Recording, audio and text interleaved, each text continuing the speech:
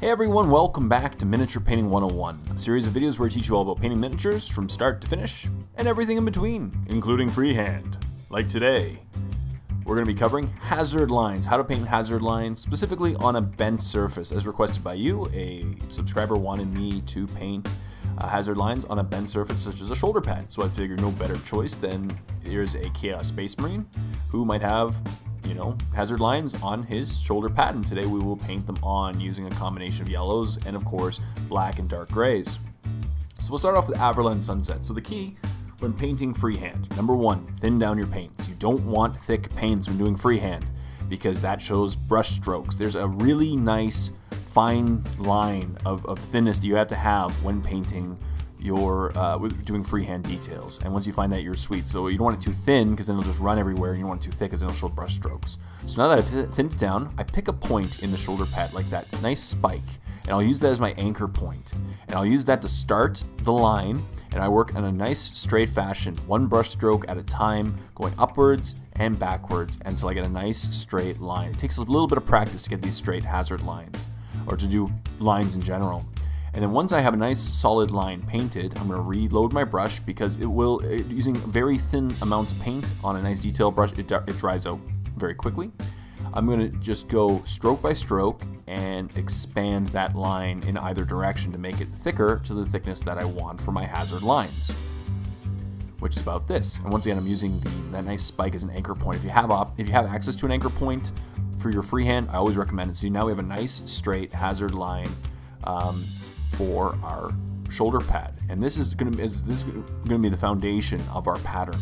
So now what I'm going to do is just gap a little distance. We're going to leave a little bit of a gap, which will be black, of course, in the end, and repeat this process, trying to go in um, in as basically parallel of a fashion as possible to the first line. Now, if you end up screwing up, don't worry. The key is when doing hazard lines, or any freehand pattern in general, is start off with a lighter color and use the darker color to clean up any mistakes that you might have made in the first color. That's why we'll be doing yellow first, black second, because the black easily will cover up any mistake and clean up those lines uh, for the yellow. But obviously you want to do as nice of a job as possible so that way you need to clean up the least amount possible. So now we got our thickness of our lines, trying to keep them consistent. We'll go in both directions and add supplementary lines to make our hazard line uh, pattern. As you see here, just one stroke at a time, doing nice and try to keep it as thick, uh, sorry, as clean as possible. Now the, the, the problem when doing shoulder pads is the bending, so you got to try to keep it, the bending um, pattern with the shoulder pad, and that takes a little bit of practice. You basically got to draw the line and keep your hands straight while going around the shoulder pad, which you'll notice will create a bending pattern. Um, it, it, just it creates a little bit of an illusion of an unstraight pattern because it does bend along and you have to continue that along. And that's okay. It just takes a little bit of practice to go along with it, but you keep your arm straight and just keep going along the bending and you can choose how strongly it bends accordingly as well. And now, now that I've got my lines done, I really like where they are. I'm going to take Yriel Yellow and go down the center of them. Uh, repeating this process once again, but it's easier now that we've already got our blueprint with Yriel Yellow. Just we're going to bring it the center of the lines to make them the brightest, and that way we'll leave a little bit of the Averland Sunset towards the perimeter of the lines. As you can see, just nice, clean strokes, one at a time, taking my time, getting nice clean lines of Yriel Yellow over the Averland Sunset, and this will really bring out the yellows in the hazard lines. It's much easier to do these lines on straight things like vehicles, uh, shoulder pads that aren't bent, but uh, it's okay. Just as I said, continue along the bend towards whatever angle you really want, and just make sure you keep it consistent between the lines of the bent pattern. So now that we got our yellows good, it's now time to fill in the gaps with Abaddon Black.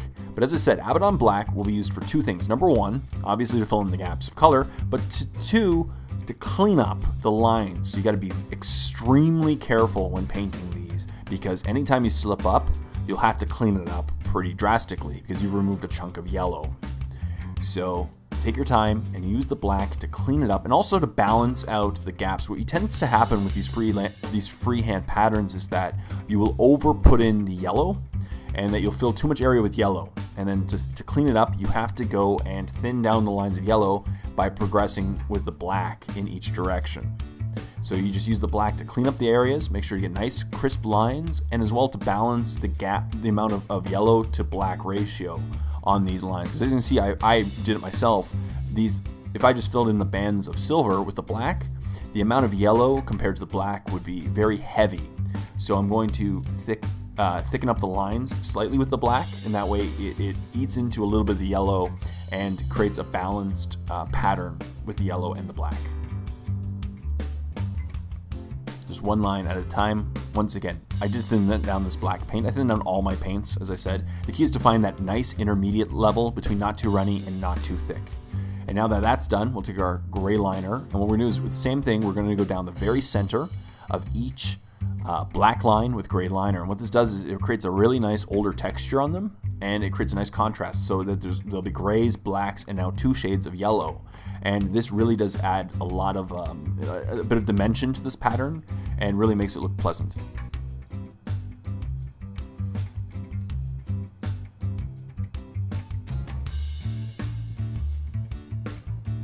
And there we go. That's it in a nutshell. And I'm just repeating this process. And now here's what our final product looks like. As you can see, I just I went and cleaned up the uh, the armor around it. I repainted the silver. That way it's nice and, and, and cut in. And that's it. Now we have a nice uh, hazard line pattern free-handed on a bent surface. And as you can see, there's slight bends to it over there, which uh, near the bottom of the shoulder pad would just create a little bit of a bent appearance.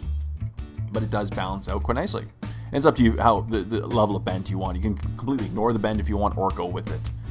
So as always, thank you so much for watching this episode of Miniature Painting 101 and stay tuned for next week's episode, part 93, which is just around the corner. But if you don't want to wait for next week, check out The Warp. Click on the link below for a free 14-day trial to my premium YouTube channel.